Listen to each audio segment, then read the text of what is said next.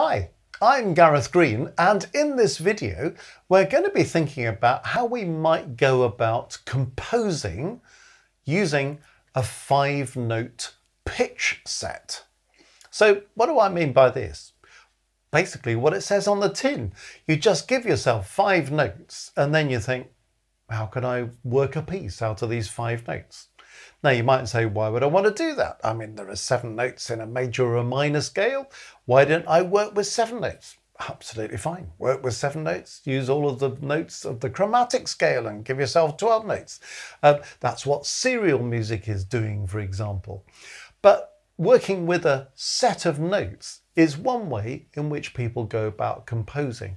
It really sort of focuses things a little bit by making you concentrate on how you might use these notes, how you might construct, say in this case, a group of five notes, how those notes relate to each other, and then what can you do with them to make a piece engaging? For example, you can stick with the five notes throughout, just keep repeating them, keep presenting them in different kinds of ways.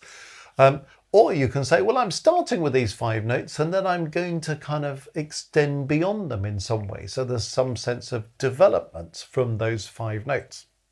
And we're going to just use one short piece written by this Australian composer, Peter Sculthorpe, who died in 2014. And he was just out to do some of his composition just using a small pitch set like this. So we'll see how Peter Sculthorpe goes about this in a piece of music called Snow from uh, a collection of three short movements called Snow, Moon and Flowers. And he uses these five notes. So let's have a look at Peter Sculthorpe's five notes. He's gone for A flat, G, E, E flat, C, now, you might sort of think, well, is that some kind of sound that I know about? It sort of almost feels a little bit bluesy, doesn't it? You know, that we're, we're going, if we start on C, but then we've got a minor third and a major third, and then G, which is kind of completing the C major chord or the C minor chord. So you can immediately see possibilities for this. You can even see an A flat major chord, C, E flat, a flat. So there's things you can do with that. But this sort of idea that you've got a tonic and this kind of sort of blues third as well as the major third, and then the fifth, and then the semitone above that. I mean, you could do all sorts of things with those five notes that don't have to be too radical. I mean, just putting down a C major chord. You're doing something kind of quite bluesy and no time at all with that pitch set. That's not at all what Peter Sculthorpe is doing in his piece. But I'm just sort of trying to make the point that you can come up with a five note pitch set and take it in so many different directions. But it's quite a fun thing to do and as a composer, it's quite a disciplined thing to do. And that's not a bad thing. Often when we're composing, we've got all sorts of ideas and we dart about from one place to another. And sometimes we just need to kind of hone in a bit, don't we? Kind of nail it down. So we've got something that the piece is based on, and we're really thinking out how we're going to develop that ingredient so the piece has a life and a kind of evolution of its own. Well, let's see what Peter Sculthorpe gets up to with this pitch set in his piece called Snow. Well, one thing he does is to kind of dislocate these notes into different octaves, and that can make a huge difference. I mean, if you put them close together, okay, we've talked about how that might work. This is what Peter Sculthorpe does. He has the A flat here, the G is a seventh higher, then he comes down to this E here, and then he goes E flat, and then he comes back to C. Has a massively different impact, doesn't it, from just putting those notes together at close quarters. So it immediately makes the point, just by dislocating things into different octaves, it gets quite interesting.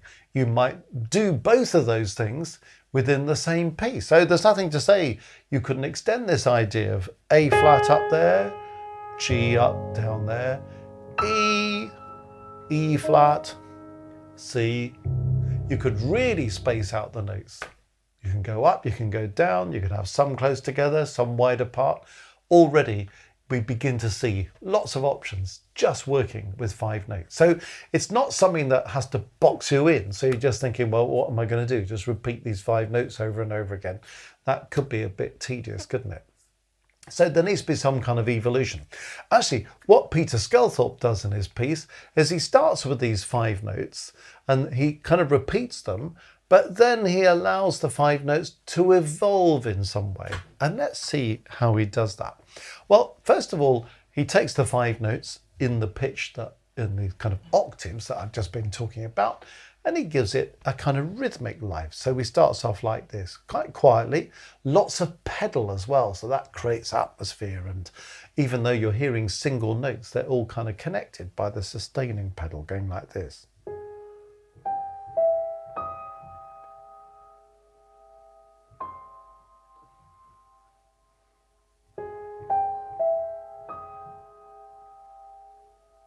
So you see how that starts off. It's kind of fascinating how he does that, isn't it?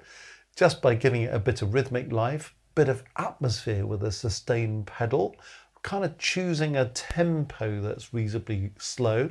And then he marks it lontano, sort of distantly.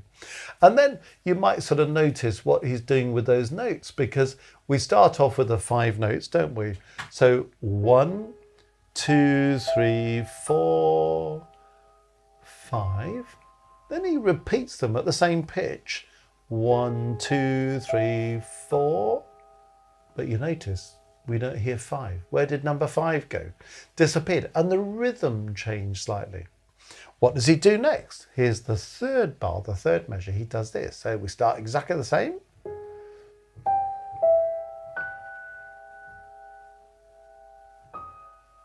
Now, what's he done this time? Well, he's taken the first three notes, A flat, G, E, then he takes the next two notes and transposes them a third higher. So G flat, E flat. Ah, and then he goes back and he repeats what he did the second time round. So we've gone back to the first four notes again, missing the fifth note in the same rhythm that he had on the, the second presentation. So you see what we've had now, we've already had four presentations of it, but you see how things kind of just gradually evolve. So let's put those four together and see what we think.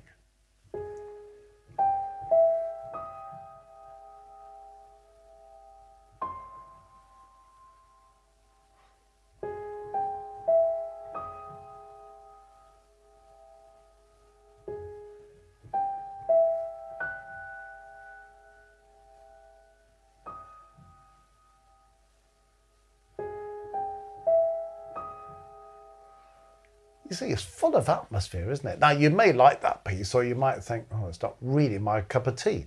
But there's nothing to say you can't use the same set of notes and do something a little bit bluesy, as we demonstrated earlier on. So there are all sorts of possibilities. And this is also showing you through this example by Peter Sculthorpe that you're not stuck with these five notes. You've got this five note idea that the piece is based on, but actually you can miss out a note. You can transpose a couple of notes. You can change the rhythm. You can use space in between. You can do things with articulation or with dynamics or the use of the pedal. And then sometimes you might just want to have a bit of a contrast from it, which is exactly what he does next, because he does this.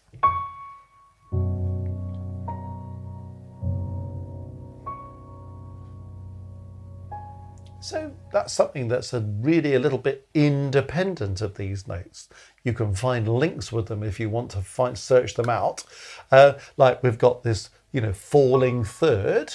Well, that's something that features in the original thing, you know, the E flat to C thing. That's a falling third, and it's a minor third as he's using here. Um, he's got these left hand chords going in fourth, so there's something slightly different happening there as well. But then after that little burst, well, he kind of comes back to doing something similar again, but he starts to modify the opening note. So he does this.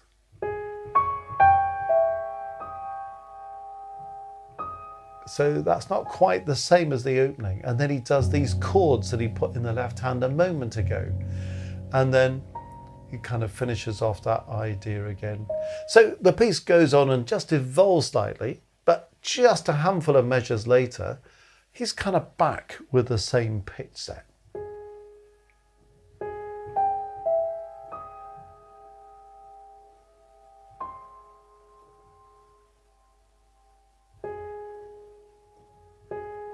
with the transposition again that he had at the beginning. So you see this starts to sound a bit familiar. And then that's almost the end of the movement because then he finishes off with his falling fourth that he used in that middle bit we talked about. And then he just has a final chord to finish off using some of the notes of the five note pitch set. So you see, Peter Sculthorpe is fairly free with it. He's got a five note pitch set. There's a kind of germ of an idea. He repeats it, he reworks it rhythmically, he includes a bit of transposition, he includes a little bit of contrasting material, returns to it again. So it feels like our old familiar friend on which the whole of this piece is built. And then he really thinks about what he's doing with other aspects of the music, with the rhythm, dynamics, articulation, choice of tempo, use of the pedal, and so on, to create the atmosphere that he wants. It's a compositional idea that you might want to work with, especially if you're the kind of composer who's just kind of darting around from one idea to the next because you're just full of all these creative ideas, which is fantastic stuff. But a way of kind of honing it down a bit. And also thinking about this piece, just thinking sometimes less is more. You don't have to fill your piece of music with notes everywhere, with everybody going flat out. Sometimes just having single notes can be very effective. You can use silence between sound as well, just to create extra atmosphere. Anyway, I hope that's going to be of some inspiration if you're a composer thinking, I could just do with a sort of new thought, something a little bit different to work with, maybe just to enhance what I'm doing, or maybe to take me in a new direction. Well, if you've enjoyed this video, you might want to go to our website, www.mmcourses.co.uk.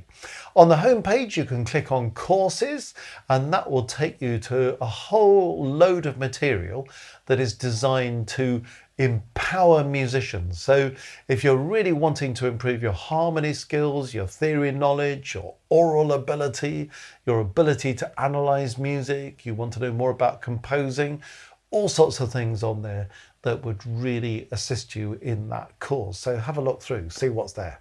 While you're back on the homepage, click on Maestros. That's our international musical community. And we've got three levels of membership nothing to do with ability. Level one is just a kind of engagement level, uh, gives you access to a number of perks, which are quite fun and enable you just to keep more closely in touch with what we're doing. If you want to go on to level two, you have all the benefits of being a level one member, but also extra benefits, including access to a monthly live stream where I spend an hour teaching each month, but we run a live chat so you can comment, ask questions, uh, raise other musical topics that you want to think about, even suggest things that we might cover in future live streams. I'm very responsive to that. So that's the kind of level two group, and it just connects you with other people on the same kind of journey. And if you want to take the ultimate step, well, join us at level three. You get all the benefits of level one and level two. And in addition to extra perks, you also have an additional live stream every month. And this is very much more individually focused. So it means that you can submit a composition, uh, a score, a recording, a piece of theory, an exercise, a musical idea you're working on, or a recording of yourself performing something. I'll give you individual evaluative feedback on that. And we share all this material with the other members of this level three group. And again, we're running a live chat so people can ask questions, offer their support, their reflections. Very positive group of people, and we all learn from each other. People constantly tell me that they learn so much by seeing and hearing what other people are doing in the group, and it inspires them in new directions as well. Anyway, it's all there. Have a look and see what you can find that would be really helpful to you in the next chapter of your musical journey. www.mmcourses.co.uk